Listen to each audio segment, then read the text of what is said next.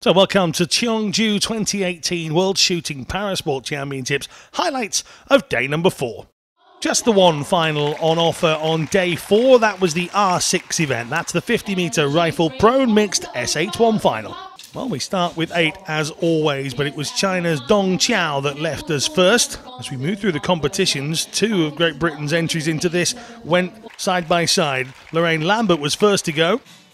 Matt Skelhon was next to go, and the man from Peterborough never really looked happy during this final. Andrei Doroshenko was the man to miss out on the medals as the Ukraine left in fourth. Another local medal for the South Korean team. Ju Sung Chul got bronze. That left us with Anna Normann of Sweden and Abdulla Sultan Alaryani. Normann had had an absolutely brilliant start to the competition, but just couldn't hold her nerve as Alaryani shot just once outside of the 10 marker. 48 shots between them, and only four of them were outside of the 10 point marker. Great shooting, but it's Alaryani of the UAE that takes the title.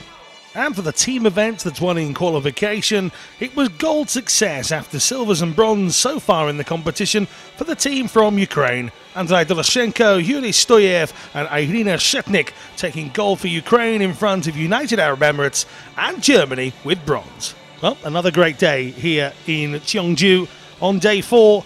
Make sure you join us again on day number five.